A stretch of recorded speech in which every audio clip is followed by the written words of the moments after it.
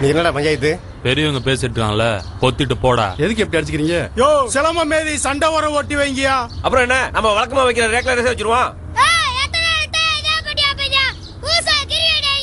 ஒரு டீமுக்கு எத்தனை பேர்ரா ஏழு பேருண்ணே உங்களோட பத்து பேர் ஆடணுண்ணே அண்ணே இவன் சொல்றது தப்புனே. பதிமூணு பேருண்ணே நமக்கு இதுவே தெரியல. எப்படா கத்து? கிரிக்கெட் கத்துக்கிறது ஒரு பெரிய விஷயம் இல்ல சார் யாரா ரமேஷ். ஏங்க நீங்க கிரிக்கெட் பிளேயர் தானுங்க.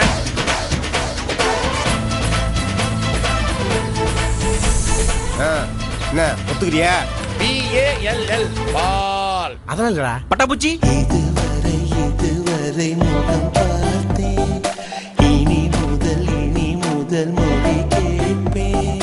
மறைவாய் ரசித்தேன்.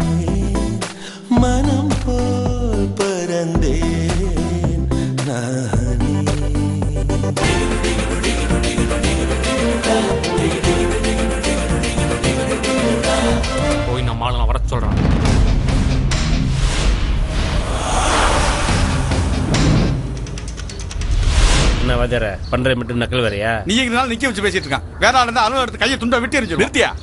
எதிர்காலத்தின் இளைய தளபதி எங்கள் அண்ணன் குறைவனின் சார்பாக கிரிக்கெட் விளையாடுவதற்கு ஆட்கள் தேர்ந்தெடுக்கப்படுகிறார்கள்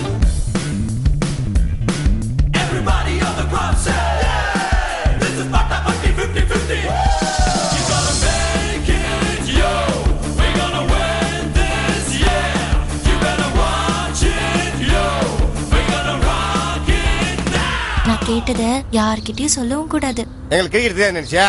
எச்சினாலும் பரவாயில்ல.